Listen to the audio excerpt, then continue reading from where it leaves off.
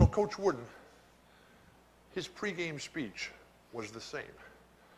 And it's a message that you have to absorb, believe, trust, and then implement in your life. Because he would come into our locker room and we're all ready to go. We're just fired up as can be.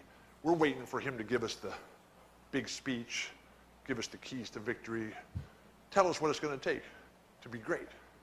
And he'd walk in there and he'd look at us with his little rolled up program. He never opened up this program. I mean, it could have been the, the menu up at the cafeteria upstairs. He pointed at us with that program and he said, Men, I've done my job. The rest is up to you. When that game starts, don't ever look over here at the sideline to me because I can't do anything more to help you.